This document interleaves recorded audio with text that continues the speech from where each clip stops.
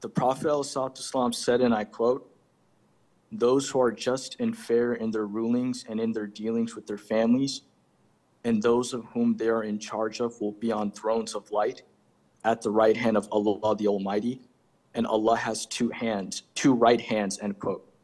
Sheikh, taking the context of this hadith into consideration, does Allah the Almighty metaphorically or literally have two right hands? Jazakallah khairan. وجزاكم. In Arabic, for those who know Arabic, they understand that the word right is used for justifiable things and honorable things.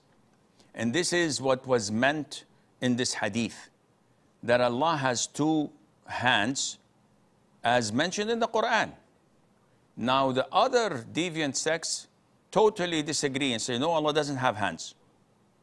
And this is making Allah similar to His creation. Billah. And this is going against the tawheed of al asma wa sifat.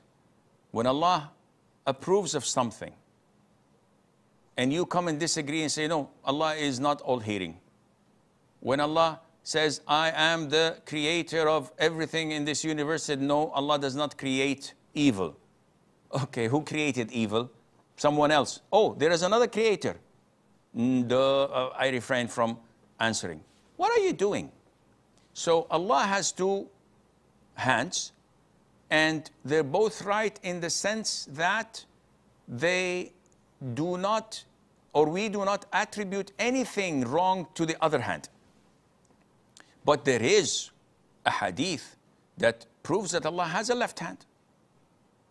And this is not to say that the left, which for us is used usually for bad things, no, Allah's uh, hands are all right in the sense that they are all honorable and only do things that cannot be criticized or discredited or looked down upon. And this hadith is an authentic hadith and Allah Azza wa knows best.